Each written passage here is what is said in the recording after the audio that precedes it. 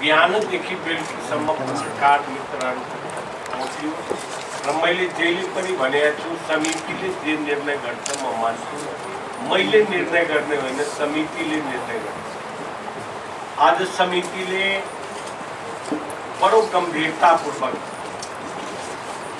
जुन प्रस्तावित हुनुहुन्थ्यो प्रधान न्यायाधीश पदको लागि दीपक राज जोशीजीको सम्बन्धमा आज हामीले लामो एउटा सबै सदस्यहरूलाई मौका दिएका छौँ हामीले।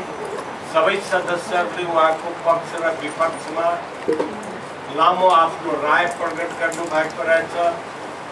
त्यो राय प्रकट भइसकेपछि यो समितिका चारजना माननीय सदस्यहरू नेपाली हुनुहुन्छ स्वीकृत गर्ने पक्षमा दस मत परेको छ जुन कि हाम्रो नियमावली अनुसार टु थर्डले अस्वीकृत गर्ने भन्ने व्यवस्था छ। यो दस मत टु थर्ड हुँदो रहेछ। त्यस कारणले हामीले अहिले लिखित स्वीकृति र अस्वीकृति सम्बन्धमा हामीले रेकर्ड तयार गरिसकेका छौँ र यो रेकर्ड अनुसार प्रधान न्यायाधीश पदका लागि प्रस्तावित दीपक राज जोशीजी यो संसदीय समितिबाट अनुमोदन नभएको हाम्रो ठहर।